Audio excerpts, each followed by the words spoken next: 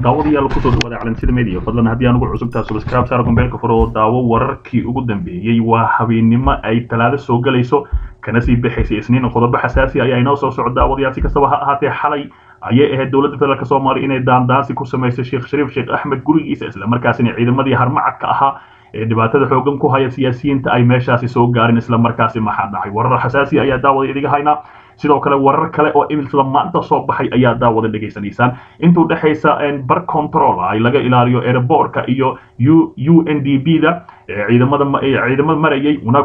una horkacay ayaa yidhi taliyaha booliska gobolka banaadir saadax john iyo ilaaladiisa guriga sheekh shariif ayaa waxa ay kala dhex galay is-afahmi waa kadib markii ay kala shakiyeen islamarkaasina goobjoogayaal ayaa halkaasi xaqiijiyay in halkaasi ay dhici rabtay in halkaasi dagaal xoogan la qaado. Si kastaba ahaatee ciidamada harmacadka ayaa dhowr mar soo maray waddada ama guriga sheekh shariif sheekh axmed islamarkaasina labada dhinac ka maray markaasi ayaa shaki gaaray islamarkaasina waxaa soo gaaray koobta ciidamo militari ah aadna u hubaysan islamarkaasina isku gadaamay guriga madaxweyne sheekh shariif sheekh axmed halkaasi oy doonayaan in ay difaac kaga galaan. Maadaama dowladda federaalk soomaaliya ay sheegtay in ciidamada laga qaadayo halkaasina taasi ay ka dhalatay cawaaqib xumo aada u ballaaray si kastaba ahaatee wararkii ugu dambeeyay ayaa maanta ka soo baxaya xiisadaasi.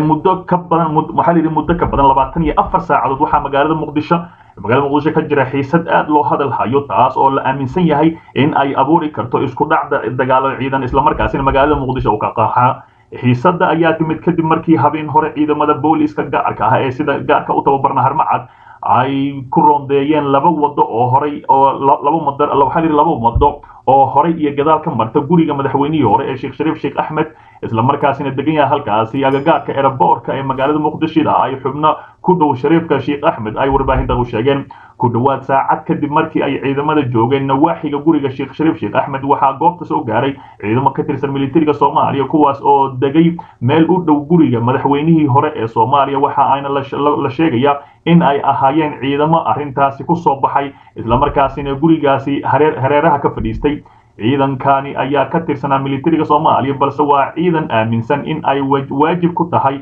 difaaca madaxweynihii hore ee soomaaliya oo ay sheegeen in ay daandaansi ku hayso dowladda federaalk soomaaliya villa soomaaliya iyo iyo in uusan mudnayn habka ay ula dhaqantay dowladda federaalk soomaaliya taasi oo doonaysa inay ku caburiso madaxdii hore ee dalka soo maray.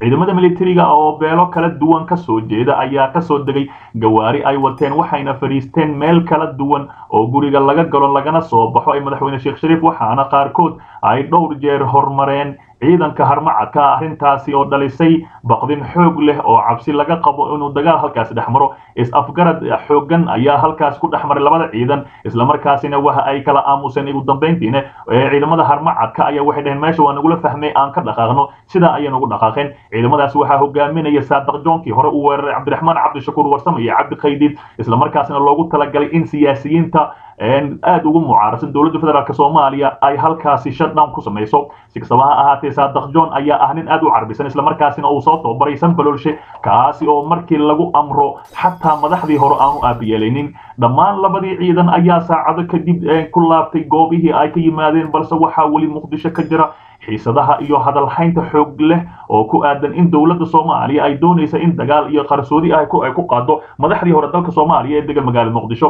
Si kastaba ahaatee madaxdii iminka ayaa iminka waxa ay ku jiraan foojignaan. Haddii lagu arko halkaasi nin harmacad ahi islamarkii goobta waxaa soo gaarayo militari daabacsan madaxdii hore ee dalka oo qabiilo kala duwan ah. Hogaamiyaha xisbiga himila qaran sheekh shariif sheekh axmed ayaa habeen hore markii uu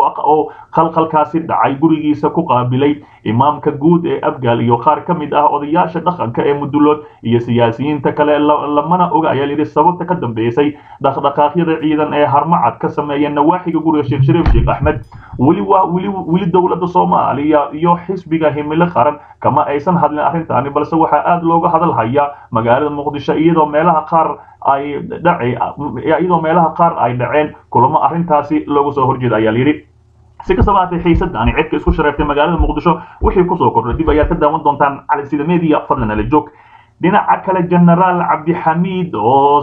cabdixamiid oo shalaambood safar la shaacin ku tagay iyo wixii uu ku soo arkay islamarkaasi taliyaha ciidanka dhulka ee xoogga dalka soomaaliyeed genaraal cabdixamiid maxamed dirir oo muddooyinkii u dambeeyey ku howlanaa howlgelinta ciidanka ayaa maanta kormeeray kormeer ugu tagay ururka labaatan iyo lixaad guutada lixaad kuwaas oo ku sugnaa deegaanada shalambood ee gobolka shabeellada hoose. Waxaana ujeedka hor kormeerkaasi taliyuhu uu yahay dardargelinta howlaha cadowga loogu xoraynayo dalka ayaa layidhi islamarkaasina ay gebagaba marayso. Dhowaan ayaa ciidamada xoogga dalka ay la wareegeen deegaanka jannaale oo ka mid ah meelaha ay ku xooganaayeen ururka al-shabaab islamarkaasina muddo toban sano ah halkaasi ay ku takrifalayeen islamarkaasina awood xoogan ay ku lahaayeen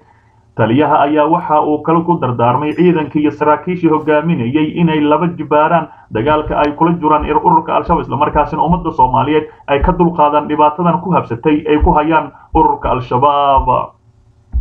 Dhinaca kale dowladda jabuuti dowladda jabuuti oo go'aan ka soo saartay cudurka fayruuska ah islamarkaasina caabuqa ah oo amar la soo rogay ayaa la sheegay kadib kulan xasaasi ah uu madaxweynaha dalka jabuuti ismaaciil cumar geelle oo la qaatay xubno ka mid ah gulihiisa wasiirada ayaa waxa uu si kulul uga hadlay caabuqa cudurkaani oo dad qaba laga helay gudaha dalkaasi ee jabuuti. Madaxweyne geelle waxa uu sheegay in ilaa iyo hadda dalka jabuuti laga helay laba qof oo qaba cudurkaasi caabuqa kuwaas oo uu sheegay in xaaladooda caafimaad la baxnaaninayo sidoo kalena dowladda jabuuti ay dadaal ugu jirto sidii ay uga hortagi lahayd faafidda cudurkaani. Waxa uu hadalkiisa intaasi ku daray madaxweynaha jabuuti inay sameeyeen inay sameeyeen dadaalo fara badan oo ayna qaateen go'aan ay ka mid yihiin xakamaynta xakamaynta socodka fasaxa iyo fasaxgelinta ee shaqaalaha dowladda hase yeeshee wuu sheegay in dadku in dadku aysan ku baraaruginsanayn dhibaatada caabuqa islamarkaasina aysan hogaansanayn amarada ka soo baxa dowladda ee lagu xakamaynayo faafinta cudurkani. Ayaa layidhi dadaal badan ayaa haatan la tacaalaya sida ay uga hortagi lahaayeen cudurkani. Dadka badan dilay ee cudurkani oo caabuqa ah kaas oo markii horeba ka soo idlaaday dalkaasi shiinaha islamarkaasina dad badan ku dilay yare oo ah guddoomiyaha guddiga doorashooyin madaxa bannaan ee dowladda federaalk soomaaliya ayaa afka furatay islamarkaasina sheegtay in xisbiyada dalka ka jira ay isdiiwaangeliyaan islamarkaasina baarlamaanka ay ansixiyaan si loogu baxa kumeel gaarka xisbiyada. Taasoo macnaheeda tahay xisbi aan ka diiwaan gashanin halkaasi ama ansixin dowladda federaalk soomaaliya ee baarlamaanka uusan ka qaybgeli doonin doorashada dalka ka dhacaysa taasi ayaa culays weyn keentay islamarkaasina. Madaxweynaha puntland ayaa sidoo kale u soo jawaabay islamarkaasina sheegay waxa ay sheegtay waxba kama jiraan. Si kastaba ha ahaatee xisbi kasta oo dalka ka jira haddii uusan haddii uusan soo dhammaystirin shuruudaha islamarkaasina uu ansixin baarlamaanka federaalk soomaaliya doorashada kama qayb galaya ayaa lagu yidhi. Haddaba xaliime yaray oo gadaal ay ka riixayaan filla soomaaliya ayaa warbaahinta la hadashay islamarkaasina shir jaraa'id qabatay. Guddoomiyaha guddiga madaxa bannaan ee doorashooyinka qaranka xaliime ismaaciil ibraahim xaliime yaray oo shir jaraa'id ku qabatay magaalada muqdisho ayaa sheegtay in doorashada ay dhici doonto kuna dhici doonto wakhtigeedii la asteeyey xaliime yaray ayaa sidoo kale labada gole ee baarlamaanka federaalk soomaaliya ka dalbadan in ay dedejiyaan meelmarinta dib u eegista sharciga xisbiyada si ay uga gudbaan xisbi sax ah oo ay kumeelgaarnimada uga soo gudbaan ugana qayb galaan doorashada horaanteeda ayaa yidhi xaliime ismaaciil xaliime yaray ayaa waxa ay sheegtay in muhiim ay tahay in xisbiyada sida kumeel gaarka ahi isku diiwaangeliyey ay soo buuxiyaan shuruudaha loogu baahan yahay si ay uga gudbaan xisbi rasmi ah ayaa lagu yidhi sidoo kale waxa ay shacabka soomaaliyeed ka dalbatay in ay ka qayb qaataan ka qayb qaataan xaqiijinta iyo hirgelinta howlaha muhiimka u ah doorashooyinka la filayo. In dhowaan ay dalka ka dhacdo ayay tiri sidoo kale guddiga doorashooyinka ayaa golaha sharci dejinta ee ka dalbatay in ay dedejiyaan meelmarinta dib u eegista sharciga xisbiyada. Oo haatan horyaalla golaha shacabka si bay yidhaahdeen ay xisbiyada uga gudbaan xisbiyo rasmi ah oo sharciyad u leh in ay ka qayb galaan doorashooyinka dalka ka dhacaysa. Islamarkaasina xisbigii aan soo buuxin shuruudda uu marnaba ka soo qaybgeli karin guddiga madaxa bannaan ee doorashooyinka ayaa waxa ay golaha isku isku dhafka ahi golaha isku dhafka ahi ee sugidda amniga doorashooyinka ka socdeen in ay diyaariyaan qorshahaasi muhiimka u ah sugidda amniga goobaha diiwaangelinta iyo codbixinta ee doorashooyinka dalka ka dhacaya. Guddiga ayaa waxa ay mahad celin u jeedisay xukuumadda federaalk soomaaliya dowlad goboleedyada dalka ka jira. Waxa ayna sidoo kale u mahad celisay hay'adaha qaramada midoobay midowda africa iyo saaxiibada kale ee taageera soomaaliya. Sidoo kale waxa ay shacabka soomaaliyeed ka dalbatay in ay ka qayb qaataan xaqiijinta iyo hirgelinta howlaha muhiimka u ah doorashooyinka la filayo inay dhowaan ka dhacaan dalka islamarkaasina ay tahay mid muhiim u ah. Si kastaba ha ahaatee xalime yarey ayaa iminka soo bandhigta qorshahaasi. Taasi ayaa waxa ay ka dhalatay khayladhaan aad u weyn islamarkaasina mucaaradka ugu horeeyo madaxweyne dani oo ah madaxweynaha puntland islamarkaasina afka furtay. Sidoo kalena sheegay arrintani inay tahay mid la soo dhadhoobay taasina ay macquul ahayn xilliga u harsan dowladda federaalk soomaaliya iyo qof iyo cod ah inaysan dalka ka dhici karin si kastaba ahaatee shirka jaraa-id ee xalimiyaray qabatay ayaa ugu weyn. Muhiimadda ay tahay in sharciga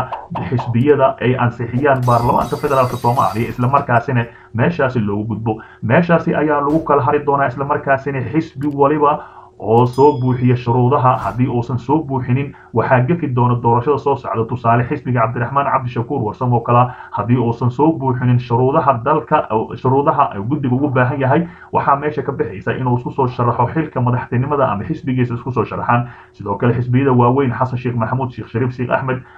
rag aad u fara badan islamarkaasina midoobay ayaa sidoo kale jira. Madaxweyne dani ayaa sheegay intaasi ay tahay mala awaal islamarkaasina ay doonaysa dowladda federaalk soomaaliya inay isdabmarsiiso wax waliba oo doorashada ku saabsan. Sidoo kale wararkii horey soo bixi jiray maalmihii la soo dhaafay ayaa sheegayay in dowladda federaalk soomaaliya ciidamo shan kun ah u tababaran ay geyn doonto goobaha codbixinada laga diyaarinayay kuwaas oo la sheegay in lagu soo tababaray dalkaasi eritrea. Si kastaba ha ahaatee waxaa la leeyahay ciidamo eritreyaan ah ayaa ku jiro xataa islamarkaasina ilaalin doona meelaha ay doorashada dowladda federaalk soomaaliya ku qabanayso. Si kastaba ha ahaatee wararkayna xiga ayaa ku soo tobin doonaa